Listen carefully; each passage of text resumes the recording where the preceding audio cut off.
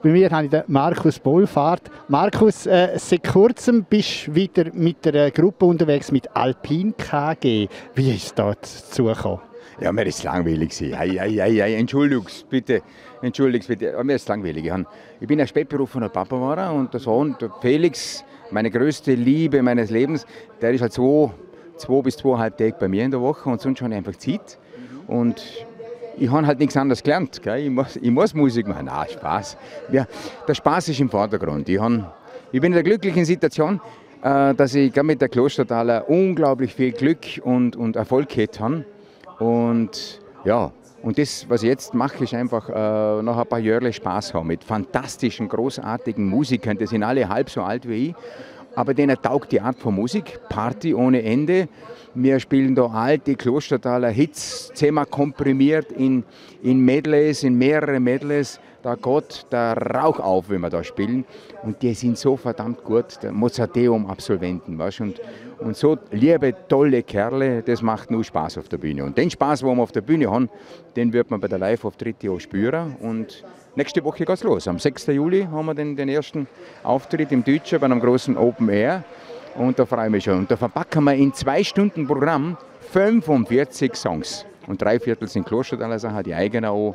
Und ja, Solo-Einlagen, ganz, ganz, ganz tolle Solo-Einlagen, wo da fast zwei Jahre haut. Gell. Also, ist ein reines Spaßprojekt. Und du nimmst dieses Flügelhorn auch zwischendurch mal führen? Ja, selbstverständlich. Ich spiele den auch mit, du hauptsächlich singen. Und, aber mit Flügelhorn ist immer mit dabei, ja. Euer erster Titel von Alpin KG war Made in Tirol. Wie haben Klostertaler reagiert, die im Klostertal? Dass du jetzt plötzlich Made in Tirol Werbung machst quasi?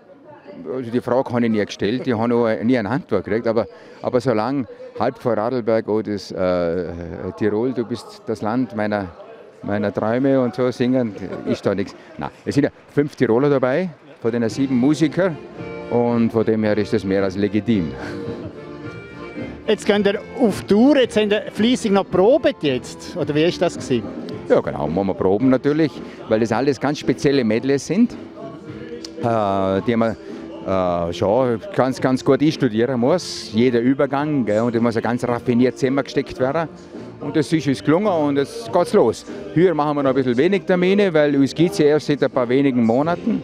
Aber die Anfragen für nächstes Jahr sind schon gewaltig und das freut mich sehr.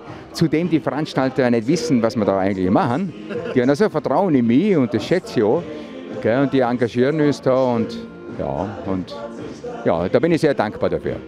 Wünschen wir alles toi toi toi mit deiner neuen Gruppe und einfach einen Haufen, Haufen, Haufen Spaß auf der Bühne. Ja, nichts anderes will man, ja. Eine Gaudi haben und vielleicht haben der Zeit, kann da vorbei. Du bist natürlich hoch Ehrengast und mein großes Ziel mein großer Traum ist ja, irgendwann wieder einmal ein Klostertaler Open Air. Und wenn es nur einmal ist. Und noch einmal machen die Leute noch einmal so Zimmer lassen, so 30.000 Leute im Klösterle drin, das wäre so mein Traum.